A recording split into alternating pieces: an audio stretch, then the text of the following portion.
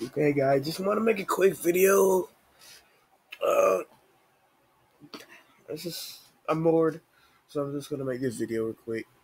Also, my computer is about to die, so people are really retarded. Like little kids and grown-ups, they keep using the word hater, and it pisses me off because that's not the right way to use it. Like, if someone's giving their opinion on you and it's negative then they're just gonna call you a hater. Like, it's not how it fucking works. Unless someone's talking shit about you for no fucking reason, then they're a hater. But still, that word's retarded. Please stop using it. It's fucking rude.